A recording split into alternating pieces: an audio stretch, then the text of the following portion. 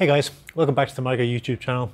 Got a new light here from Atreum Lighting, US company. Reviewed um, their first grow light, out and it was one of the first high efficiency LED grow light bars I ever tested. It was a nice little, little simple but nice light. Last year I looked at their Atreum Hydra 100 which is a really nice uh, small grow light for 2x2 and this is their brand new LED bar type light.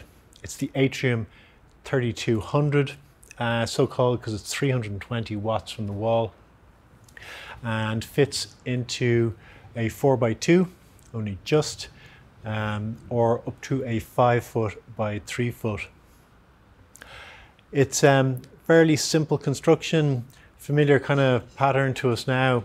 Um, foldable LED bar type, got four bars in this case, and interesting one with this is they've got the their algorithmic um, LED spacing. So there are less LEDs in the uh, towards the middle of the bars and more towards the edges. And this means there's less of a hot spot in the center or towards the middle, which means you can bring it down lower to the canopy um, to get uh, to get the best the, the maximum amount of light onto the plant canopy. As I said, it's just under uh, four foot by two foot in size, so it just fits into that size of an area. So I put it in there for test and uh, dropped it down. It recommends 12 to 18 inches. I found 12, 12 inches or 30 centimeters to be perfect and get just a touch over, um, a little bit over a thousand micromoles in the center.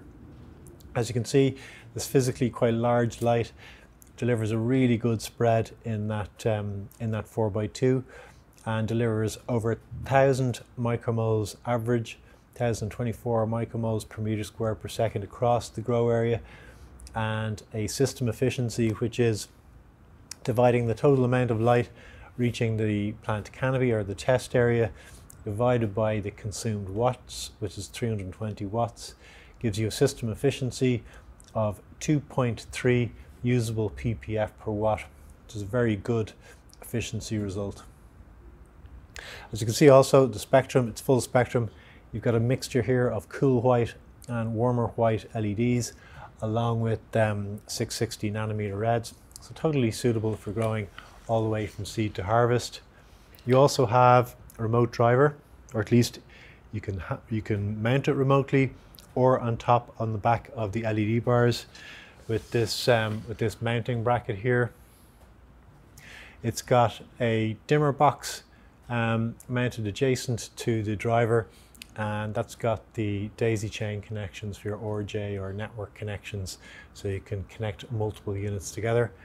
Uh, you got your on and off switch and you've got the dimming control as well.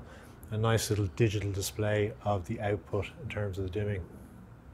So all in all, nice light, um, nicely finished, very simple and basic in construction as these LED bar types are, all with the highest quality components and high performance too. So very happy to recommend this one from Atreum and uh, to see they're still putting out some nice lights. Hope you enjoyed. Any questions or comments, please leave them below. I'll get back to you as soon as I can. Take care.